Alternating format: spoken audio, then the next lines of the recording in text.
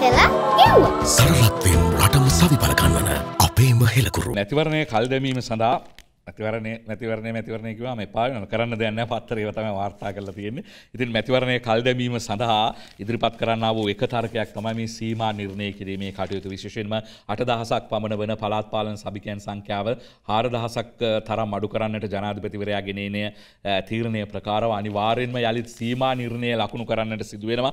ඉතින් සීමා නිර්ණය කිරීමටත් තිබෙන්නේ කොමිෂන් සභාවක්. ඒ සභාපතිත්වය දරුණු ලබන්නේ හිටපු මැතිවරණ කොමසාරිස්වරයෙකු වන මැකෝ කියන ලාඩ ආඩම ඒ විදිහටම ගහලා තියෙන.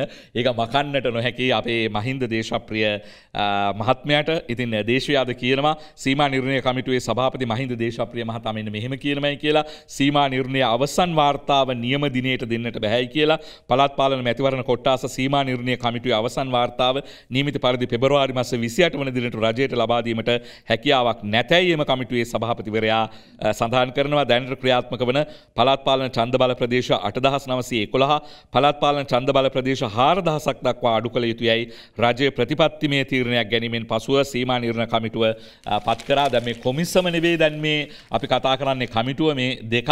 ඉතින් කොහොම වුණත් එහි අවසන් වාර්තාව ලබන පෙබරවාරි 28 වන දිනට ලබා දිය යුතුයයි රජය නියම කර තිබුණා. එසේ පවත්නා ප්‍රායෝගික ගැටලු ගණනාවක් නිසා අදාළ වාර්තාව නියමිත දිනට හමාර කළ නොහැකි වන බව මහින්ද දේශප්‍රිය මහතා සඳහන් කරනවා නිරන්තරයෙන් ජනතාවගේ ඡන්දායිතිය වෙනුවෙන් පෙනී සිටි මහින්ද දේශප්‍රිය මහතා මහතාවම යොදා ගනිමින් ඉතාමත් ක්‍රමෝපායික ලෙස මේ චන්දය කල් දැමීම සඳහා කටයුතු කරනවාද කියා කෙනෙකුට නිරීක්ෂණය කරන්නට හැකියාවක් තිබෙනවා.